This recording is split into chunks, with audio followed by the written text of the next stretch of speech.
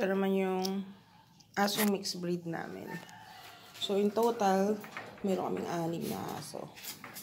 Yung mixed breed namin, siya ang um, nakakawala palagi sa loob ng bahay.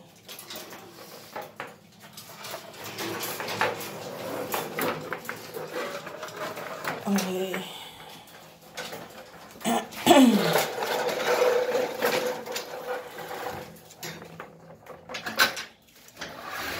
so, dito na yung sila nakakawalan in the morning. Para to do their business. Nahirap pala nito. Mali pa yung susi. Ano ba yan?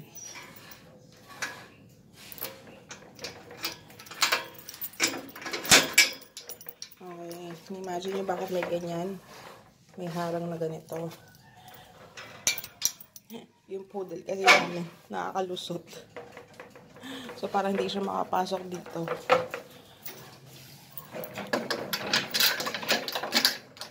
Habang naglilinis ako. Okay. Labas. Labas doon. Lili. Labas. Ano ba? Ayaw. Ayaw matanggal. Lili. Lili! Hyper. Magmaga. Lili! Hey! Lili!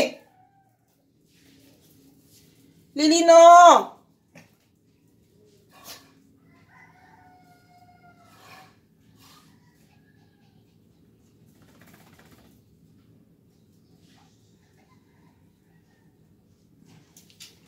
Ano naman? Hmm, ngayon na.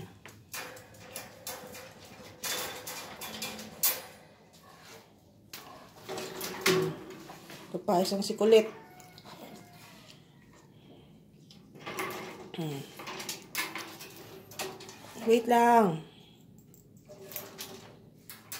Hmm. Go, go, go, go. Labas na doon.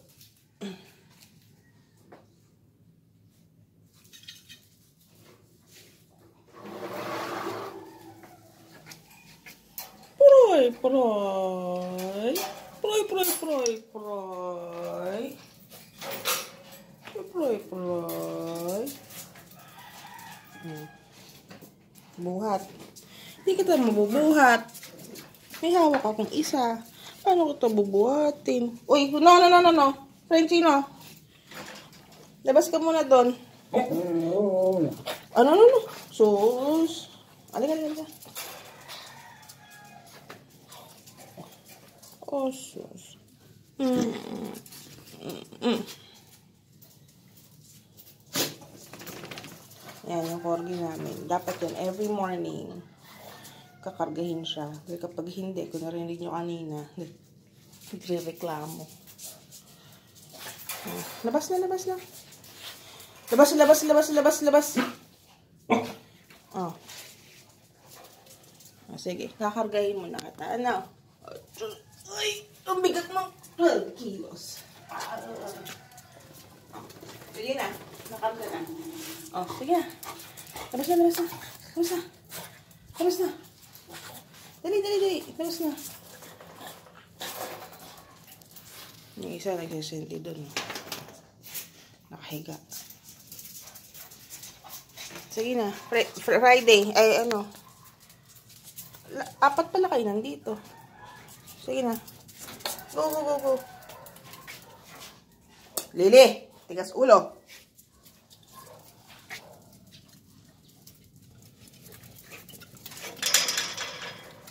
Heart, no. Heart! Yung bigel namin na pangalan Heart. Kasi may heart yan sa ano eh, sa ulo. May korteng puso sa ulo. Okay. So now, since nandala sila, lilinisin ko na ngayon yung mga cage nila kasi may mga poops, may mga wiwi. And then, pagkatapos nun, saka ako papakain. No? Hindi ka pupunta doon.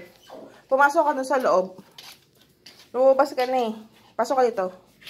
Pasok ka dito. Pasok ka dito. Ihian mo lang yung lugar nila doon.